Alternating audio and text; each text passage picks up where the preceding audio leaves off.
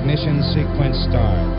Five, four, three, two, one, zero.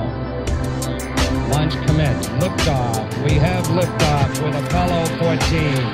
Three minutes past the hour. The tower is clear.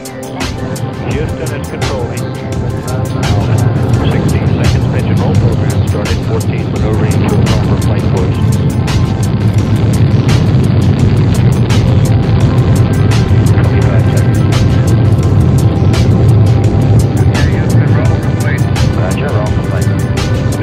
Airport roll program completed. Pitch profile is in progress.